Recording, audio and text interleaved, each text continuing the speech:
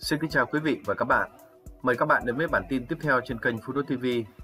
Xin gửi tới các bạn những thông tin cập nhật về giá cà phê sáng nay, ngày 20 tháng 7 năm 2022. Cảm ơn quý vị và các bạn đã quan tâm theo dõi và ủng hộ cho kênh trong thời gian vừa qua. Chúc các bạn ngày mới vui vẻ, bình an và gặp nhiều may mắn. Thưa các bạn, kết thúc phiên giao dịch sáng nay theo giờ Việt Nam, giá cà phê trên thế giới ở hai sàn phái sinh tiếp đà tăng. Trên sàn London, giá cà phê Robusta ở kỳ hạn giao tháng 9 năm 2022 tăng thêm 6 USD trên tấn với mức tăng là 0,3% lên mức giao dịch là 1.998 USD trên tấn. Trong khi đó, ở kỳ hạn giao tháng 11 năm 2022, giá cà phê tăng 7 USD trên tấn với mức tăng là 0,35% lên mức giao dịch là 1.994 USD trên tấn.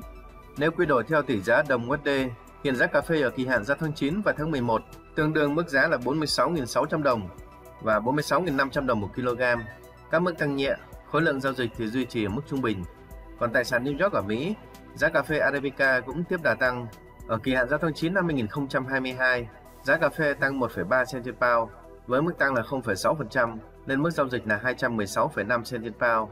Trong khi đó ở kỳ hạn giao tháng 12 năm 2022, giá cà phê tăng nhẹ thêm 1 cent lên mức giao dịch là 212,2 cent trên pound.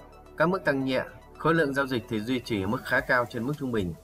Thưa các bạn, trong phiên giao dịch vừa qua, Giá cà phê ở hai sàn phái sinh tăng vừa phải, với cà phê Arabica leo lên mức cao nhất trong một tuần. Việc ECE tiếp tục thắt chặt tồn kho cà phê đang hỗ trợ cho giá cà phê Arabica sau khi tổ chức cà phê quốc tế theo dõi tồn kho cà phê Arabica hôm thứ Ba giảm xuống mức thấp mới trong 22 năm là 727.222 bao. Giá cà phê cũng được hỗ trợ do lo ngại về sản lượng cà phê giảm ở Brazil.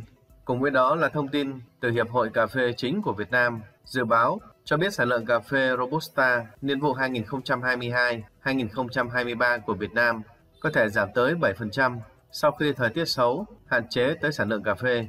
Với thị trường cà phê trong nước, theo ghi nhận sáng nay, giá cà phê tiếp tục tăng nhẹ 100 đến 200 đồng cho 1 kg ở các vùng trồng cà phê trọng điểm, với mức giá được thu mua từ 43.200 đến 44.400 đồng một kg. Tại tỉnh Lâm Đồng, khu vực huyện Lâm Hà, thành phố Bảo Lộc, sáng nay thu mua ở mức 43.300 đồng một kg. Tại khu vực huyện Di Linh, mức giá là 43.200 đồng một kg.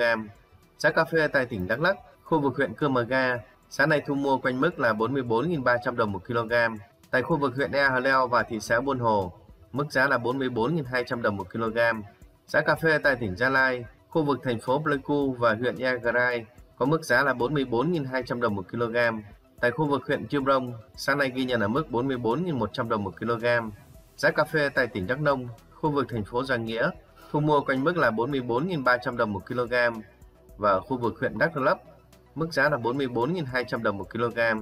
Đối với giá cà phê tại tỉnh Con Tum, khu vực ở huyện Đắk Hà, sáng nay thu mua quanh mức là 44.100 đồng một kg. Tại tỉnh Đồng Nai, giá cà phê được thu mua quanh mức 44.300 đồng một kg và tại tỉnh Bình Dương, mức giá là 44.400 đồng một kg. Giá cà phê ra quanh tới cảng thành phố Hồ Chí Minh sáng nay thu mua quanh mức là 44.600 đồng một kg.